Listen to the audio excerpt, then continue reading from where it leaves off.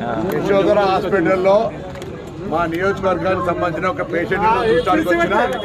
అదే సందర్భంలో గౌరవ ముఖ్య మాజీ ముఖ్యమంత్రి గారు కేసీఆర్ గారు కూడా ఉన్నారంటే వారిని కూడా శుద్ధమని పోయినా వారు హాస్పిటల్లో లోపల ఉన్నారు. వారి కుమారుడైనటువంటి నా పార్లమెంట్ నియోజకవర్గలో ఎంపీగా ఉన్నప్పుడు శాసనసభ్యుడిగా ఉన్నటువంటి కేటీఆర్ గారిని హరీష్ రావు గారిని దుబ్బాక శాసనసభ్యుడు ప్రభాకర్ రెడ్డి గారు ఉండి వాళ్ళను కూడా కలిసి కేసీఆర్ గారి యోగక్షేమాలు కూడా అడిగిన వారు ఆరోగ్యం నిలకడవుతుందని చెప్పినారు. మాజీ ముఖ్యమంత్రిగా వారు కూడా ఒక తెలంగాణ ఉద్యమకారుడిగా నేను కూడా ఒక తెలంగాణ ఉద్యమకారుడిగా ఈ హాస్పిటల్లో వచ్చిన సందర్భంగా రాజకీయాలకు అతీతంగా ఆరోగ్యాలు యోగక్షేమాలు అడగడం అనేటువంటిది మామూలే కాబట్టి వారిని అడగడం జరిగింది. ఇందులో ఏం రాజకీయం లేదు. నేను నా నియోజకవర్గ పేషెంట్ చూడడానికి వచ్చిన వారిని కూడా చూడడానికి వెళ్ళినా వారు ఇన్సైడ్ లోపల హాస్పిటల్లో ట్రీట్మెంట్ సంబంధించి ఉన్నది కాబట్టి వారి కొడుకును కలిసి వారు నా తరఫున తొందరగా కోలుకోవాలని కోరుకోవడం జరిగింది. లేదు, అదే వాళ్ళ వాళ్ళ కొడుకు చెప్పిన నేను కేసీఆర్ గారిని కలవలేదు. లోపల ట్రీట్మెంట్లో ఉన్నారు కాబట్టి డాక్టర్ ఎంవీ రావు గారి సలహా మేరకు వాళ్ళ కొడుకులతో కలిసి అల్లు కేసీ హరీష్ రావు గారు కూడా కలిసి వారి యోగక్షేమాలు నా తరఫున తొందరగా కోలుకోవాలనేటువంటి మాట చెప్పిన కూడా జరిగింది. యశోధర హాస్పిటల్లో మా నియోజకవర్గానికి సంబంధించిన ఒక పేషెంట్ చూడటానికి వచ్చిన. అదే సందర్భంలో గౌరవ ముఖ్య మాజీ ముఖ్యమంత్రి గారు కేసీఆర్ గారు కూడా ఉన్నారంటే వారిని కూడా చూద్దామని పోయినా వారు హాస్పిటల్లో లోపల ఉన్నారు. వారి కుమారుడైనటువంటి నా పార్లమెంట్ నియోజకవర్గ లో ఎంపీగా ఉన్నప్పుడు శాసనసభ్యుడిగా ఉన్నటువంటి కేటీఆర్ గారిని హరీష్ రావు గారిని దుబ్బాక శాసనసభ్యుడు ప్రభాకర్ రెడ్డి గారు ఉండి వాళ్ళను కూడా కలిసి కేసీఆర్ గారి యోగక్షేమాలు కూడా అడిగిన వారు ఆరోగ్యం నిలకడవుతుందని చెప్పినారు.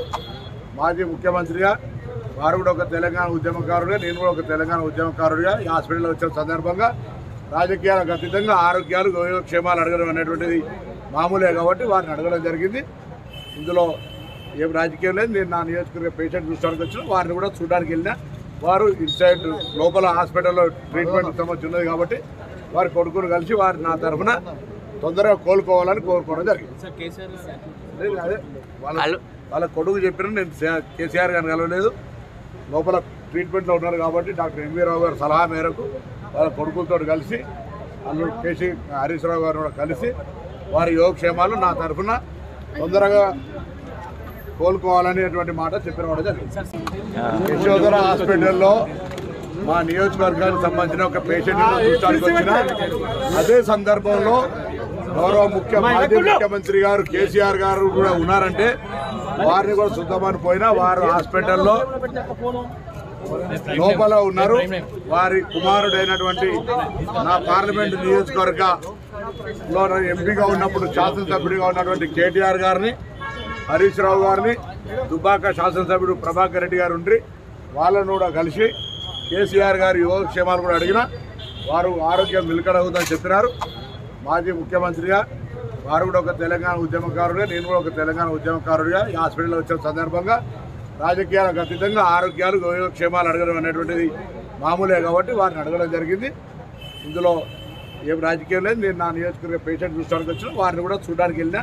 వారు ఇన్సైడ్ లోపల హాస్పిటల్లో ట్రీట్మెంట్ సంబంధించి ఉన్నది కాబట్టి వారి కొడుకును కలిసి వారి నా తరఫున తొందరగా కోలుకోవాలని కోరుకోవడం జరిగింది. అదే. వాళ్ళ వాళ్ళ కొడుకు చెప్పిన నేను కేసీఆర్ గారిని కలవలేదు. లోపల ట్రీట్మెంట్లో ఉన్నారు కాబట్టి డాక్టర్ ఎంవీ రావు గారి సలహా మేరకు వాళ్ళ కొడుకులతో కలిసి అల్లు కేసీ హరీష్ రావు గారు కూడా కలిసి వారి యోగక్షేమాలు నా తరఫున తొందరగా కోలుకోవాలనేటువంటి మాట చెప్పిన కూడా జరిగింది.